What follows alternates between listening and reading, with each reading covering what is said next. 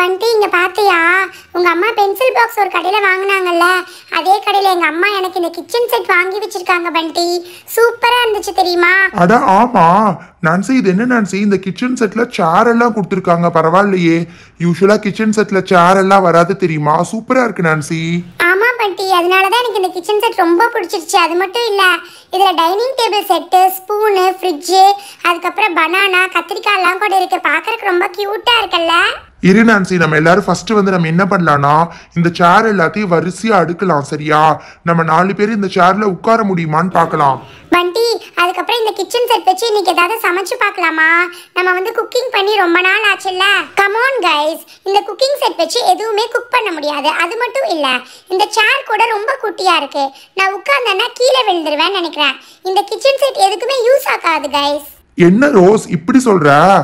பார்க்குறக்கு நல்லா பெருசாக தானே இருக்குது இருங்க நான் உட்காந்து பார்க்குறேன் நல்ல வசதியாக தான் இருக்குது என்ன கொஞ்சம் பின்னாடி சாயிற மாதிரி இருக்கு. ஆனால் மற்றபடிக்கு ரொம்ப மோசமாக இல்லை ரோஸ். பண்டி நேற்று அந்த பென்சில் பாக்ஸ் வச்சு சண்டை வந்துச்சுல்ல? அதை வச்சு அவள் வேணும்னே சொல்லிக்கிட்டு இருக்கா. இந்த கிச்சன் செட்டுக்கு என்ன குறைச்சல்? வேணும்னே அவள் கிண்டல் பண்ணிட்டு இருக்கா பாரு. வாட் இஸ் இஸ் கைஸ் இது ஒரு டைனிங் டேபிளா இதில் எப்படி நம்ம உட்காந்து சாப்பிட முடியும்? பார்க்குறக்கே ரொம்ப காமெடியாக இருக்க தெரியுமா? ஆமா நான்சி. இந்த டைனிங் டேபிள் பார்க்கறக்கு நார்மல் சேரை விட ரொம்ப குட்டியா இருக்கு பாரு. சரி மத்த என்னென்ன கொடுத்துருக்காங்க எல்லாத்தையும் எடுத்து அடுக்கி வை பார்க்கலாம். அந்த டைனிங் செட் வேணா குட்டியா இருக்குன்னு சொல்லலாம். ஆனா மத்தபடிக்கு ஸ்பூன் எல்லாமே நல்லா தான் இருக்கு தெரியுமா? இதை வச்சு கண்டிப்பா இன்னைக்கு நம்ம ஏதாவது குக் பண்ணி விளையாடலாம். What is is Nancy? நான் சொன்னா நீ கிண்டல் பண்றேன்னு சொல்லிக்கிட்டு இருக்க. இதுல குக் பண்றதுக்கு தேவையான எந்த ஐட்டம்ஸுமே இல்ல. ரொம்ப இன்கம்ப்ளீட்டா இருக்கு தெரியுமா? இதை வச்சு கண்டிப்பா நம்மளால எதையுமே குக் பண்ண முடியாது. நீ வேணா அடுக்கி வச்சு விளையாடலாம் பட் கண்டிப்பா குக் பண்ண முடியாது. நான்சி எனக்கு என்னமோ ரோஸ் சொல்றது தான் கரெக்ட்னு தோணுது. இதை வச்சு நம்மளால எதுவுமே குக் பண்ண முடியாது நான்சி பேசாம இதை வச்சு கொஞ்ச நேரம் விளையாண்டுட்டு அதுக்கப்புறம் எடுத்து வச்சிட வேண்டியதுதான். என்கிட்ட இதை விட சூப்பரான ஒரு கிச்சன் செட் இருக்கு தெரியுமா? அந்த கிச்சன் செட் வச்சு நம்ம என்ன வேணாலும் குக் பண்ணி சாப்பிடலாம். பாத்தியா பாத்தியா நான் சொன்னேன்ல அவ வேணும்னே என்ன கிண்டல் பண்ணிக்கிட்டு இருக்கா. அப்படியெல்லாம் ஒன்றும் இல்லை நான்சி. எனக்கு என்னமோ ரோஸ் சொல்கிறதும் கரெக்டான்னு தான் தோணுது. ரோஸ் நீ போய் அந்த கிச்சன் செட் எடுத்துகிட்டு வாப்போ ஓகே கைஸ் நான் போய் அந்த கிச்சன் செட் எடுத்துட்டு வரேன் நீங்கள் அதுக்குள்ள இங்கே இருக்கிற திங்ஸ் எல்லாத்தையும் கொஞ்சம் கிளியர் பண்ணுறீங்களா கமோன் நான்சி இதை வச்சு எதுவும் பண்ண முடியாதுன்னு சொன்னேன்ல. இதெல்லாம் தூக்கி அட்லீஸ்ட் கொஞ்சம் ஓரமாக போடு. அப்போ தான் நான் கொண்டு வந்திருக்கிற கிச்சன் செட்டை ஓப்பன் பண்ண முடியும். நீ வச்சிருக்கிற மாதிரி ஜஸ்ட் ஃபோர் ஃபைவ் ஐட்டம்ஸ் மட்டும் இருக்காது. நிறைய ஐட்டம்ஸ் இருக்கும். ஸோ அதுக்கு நிறைய ஸ்பேஸ் வேணும் ஓகே நானும் பார்க்குறேன். அப்படி என்னதான் இருக்குன்னு பார்க்குறேன். நீ உன்னோட கிச்சன் செட் எடுத்துகிட்டு வா. பாத்தீங்களா? என்னோட கிச்சன் செட்ல எவ்வளோ ஐட்டம்ஸ் இருக்குன்னு பாத்தீங்களா?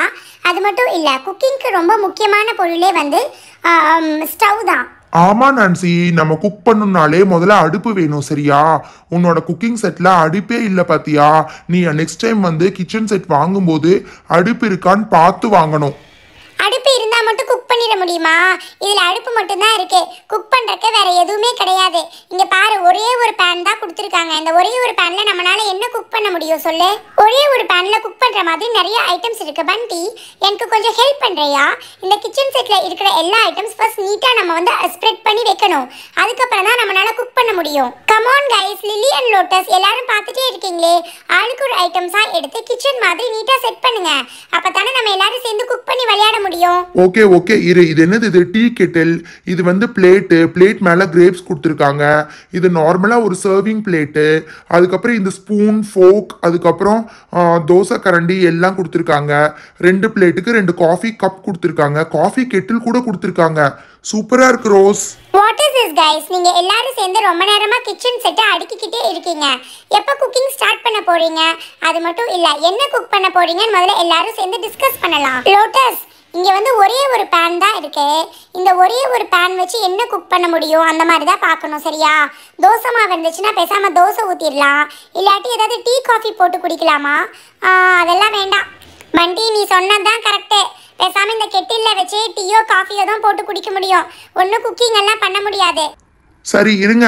நான் டீ போட்டு குடிக்கிறதுக்காக பால் அதுக்கப்புறம் டீ பவுடர் சர்க்கரை எல்லாத்தையும் போய் எடுத்துட்டு வரேன். காஃபி கப் கூட இருக்கு. போட்டோம்னா எல்லாரும் சேர்ந்து ஷேர் பண்ணி குடிச்சுக்கலாம். Come on guys tea coffee எல்லாம் நம்மளை மாதிரி சின்ன பசங்க குடிக்கக்கூடாது. அது மட்டும் இல்லை எனக்கு ரொம்ப பசிக்குது. ஸோ சாப்பிட்ற மாதிரி ஏதாவது ஒன்று பண்ணி கொடு பண்டி. ப்ளீஸ் பண்டி.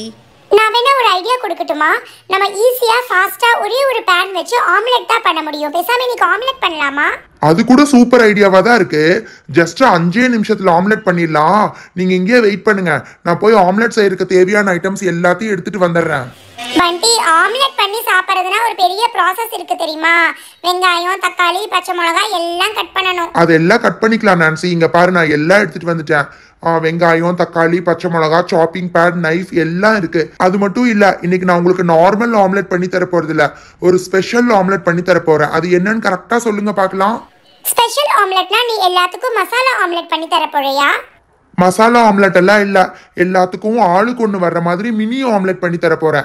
ஓகேவா எவ்வளோ முட்டை எடுத்துட்டு வந்திருக்கேன் பாத்தீங்களா? My god what is this பண்டி இவ்ளோ முட்டை வச்சு ஆம்லெட் பண்ண போறியா? இதை சாப்பிடணும்னா ஒரு ஊடே வேணும். தயவு செஞ்சு ப்ளீஸ் இவ்ளோ எக்ஸ் வேஸ்ட் பண்ணாத. அதெல்லாம் முடியாது. இன்னைக்கு நான் ஒரு ஆளுக்கு ஒரு ஆம்லெட் பண்ண தான் போறேன். இருங்க ஃபர்ஸ்ட் வெங்காயத்தை இந்த மாதிரி பொடி பொடியா கட் பண்ணிக்கணும். ஓகேவா பண்டி வெங்காயம் எல்லாம் பொடி பொடியா கட் பண்றதுக்கு இப்போ ஒரு மெஷின் வந்துருச்சாமா? அந்த மெஷின்ல பேசாம கட் பண்ணி போட்டுடலாமா? அதெல்லாம் வேண்டாம். அது நம்ம நினைக்கிற மாதிரி எல்லாம் கட் பண்ணாது. ஒன்று பெருசு ஒன்று சிறுசுமா கட் பண்ணும். ஓகே அடுத்தது பச்சை மிளகா கட் பண்ண போறேன். பண்டி பண்டி எனக்கு காரம் சுத்தமா பிடிக்காது. பச்சை மிளகா கம்மியா போடு சரியா? நோ பண்டி ஆம்லெட் ஸ்பைசியா இருந்தா தான் நல்லா இருக்கும் ஸோ ஒன்று தயவு செஞ்சு ஒரு ஆம்லெட்க்கு ஒரு கிரீன் சில்லியாவது போடணும். இல்லாட்டி சுத்தமா நல்லாவே இருக்காதே. ரெண்டு பேரும் திரும்பவும் சண்டை போட ஆரம்பிச்சிட்டிங்களா? சரி நான்சி உனக்கு வந்து பச்சை மிளகா இல்லாத ஆம்லெட் போடுறேன்.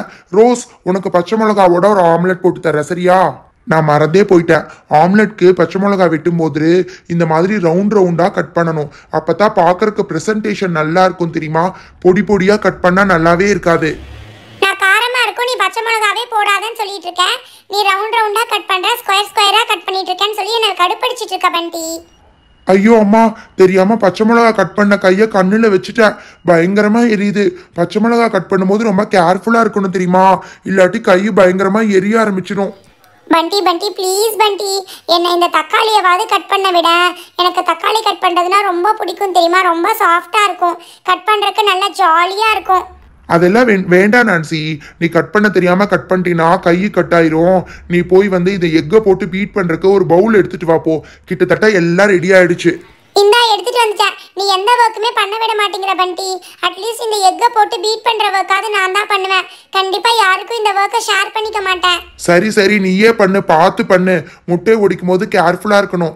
இல்லாட்டி முட்டையோட ஓடு முட்டையோட மிக்ஸ் ஆகி ஆம்லெட்டில் வந்துடும் அதுக்கப்புறம் வாயில் போடும்போது நல்லாவே இருக்காது. ஏதோ மண்ணை கடிச்ச மாதிரி இருக்கும். இங்கே பாரு எவ்வளோ நீட்டாக கட் பண்ணியிருக்கேன் பாரு. எக்கு எல்லோ கூட மிக்ஸ் ஆகவே இல்லை. இப்போ என்ன பண்ணணும்னு எனக்கு நல்லா தெரியும். வெங்காயம் தக்காளி பச்சை மிளகா அதுக்கப்புறம் கொஞ்சம் சால்ட்டு எல்லாத்தையும் போட்டு ஒரு ஃபோக் இருந்தால் எல்லாத்தையும் நல்லா மிக்ஸ் பண்ணணும். அப்போ தான் நல்லா ஆம்லெட் வந்து ஃப்ளஃபியாக வரும். இல்லாட்டி நல்லா வந்து ரொம்ப தோசைக்கல்லோட ஒட்டிக்கும். நல்லாவே இருக்காது. அம்மா தோசைக்கல் வச்சிட்டீங்களாம்மா? இந்த ஆம்லெட்டை கொஞ்சம் போட்டு எடுத்து கொண்டு வந்து கொடுங்கம்மா. எங்க எல்லாத்துக்கும் ரொம்ப பசியா இருக்கு. டே பண்டி நான் இங்கே வேலையாக இருக்கேன்டா. தோசைக்கல் வச்சிருக்கேன். இன்னும் ரெண்டே நிமிஷத்தில் ரெடி ஆயிரும். நான் வர்றேம்மா. நீங்க ரெடியான உடனே சொல்லுங்க. நானே வந்து எடுத்துட்டு வரேன் டன்டடைன் இங்க பாத்தீங்களா? மினி ஆம்லெட் எல்லாத்துக்கும் ரெடி ஆயிடுச்சு. நீங்க எல்லாரும் சாப்பிடுற மாதிரி ஒரே முட்டையை வச்சு எல்லாத்துக்கும் ஆம்லெட் பண்ணிட்டேன் பாத்தீங்களா? ஒரு முட்டையில ஒரு பச்சை மிளகாய் இருக்கும். ஏ ரோஸ் இந்தா சாப்பிடு. நீ தான் நல்லா காரமா வேணும்னு கேட்டு இல்ல? இந்தா பச்சை மிளகாயோட சாப்பிடு. சூப்பரா இருக்கும். வாட் இஸ் திஸ் பண்டி எங்களுக்கு பசிக்குதுன்னு சொல்லிக்கிட்டு இருந்தா நீ ரோஸ்க்கு எடுத்து ஊட்டிக்கிட்டு இருக்க? ஏ கோச்சுக்காத லில்லி. ஆளுக்கு ஒன்று எடுத்து சாப்பிடுங்க. நான்சி நீ காரமே இல்லாம கேட்டு இல்ல? இந்தா பச்சை மிளகாய் இல்லாத ஆம்லெட்டை நீ சாப்பிடு. நல்லா இருக்கு பண்டி சூப்பர் டேஸ்டியா இருக்கு. எல்லாமே கரெக்டா இருக்கு தெரியுமா? லில்லி லோட்டஸ் இந்தாங்க. ஆளுக்கு ஒன்று எடுத்து சாப்பிடுங்க. கையிலேயே எடுத்து சாப்பிடுங்க. இதுக்கு பேர் தான் மினி ஆம்லெட் பண்டி சூப்பராக இருக்கு.